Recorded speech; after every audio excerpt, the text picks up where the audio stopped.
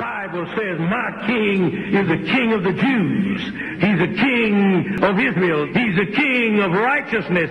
He's the king of the ages. He's the king of heaven. He's the king of glory. He's the king of kings. And he's the Lord of lords. That's my king. I, I wonder, do you know him? my king is a sovereign king. No means of measure can define his limitless love. He's enduringly strong. He's entirely sincere. He's eternally steadfast. He's immortally graceful. He's imperially powerful. He's impartially merciful. Do you know him? He's the greatest phenomenon that has ever crossed the horizon of this world. He's God's Son. He's a sinner's Savior.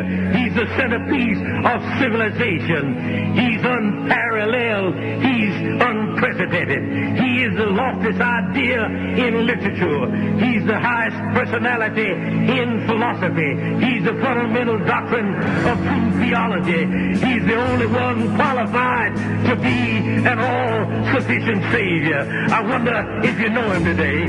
He supplies strength for the weak. Available for the tempted and the tried.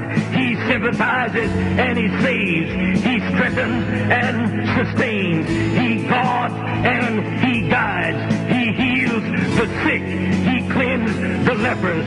He forgives sinners. He discharges debtors. He delivers the captive. He defends the feeble. He blesses the young. He serves the unfortunate.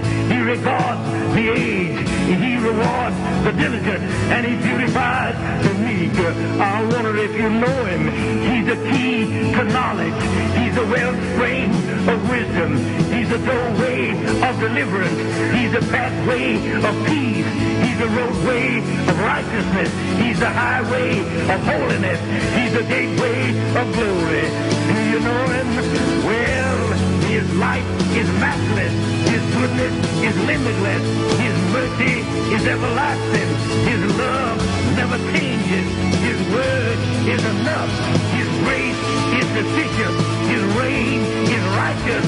And his yoke is easy. And his burden is light. I wish I could describe him to you. He's indescribable. He's incomprehensible. He's invincible. He's irresistible. Well, you can't get him out of your mind. Can't get him off of your head. You can't outlive him, and you can't live without him. Well, the Pharisees couldn't stand him, but they found out they couldn't stop him. Pilate couldn't find any fault in him.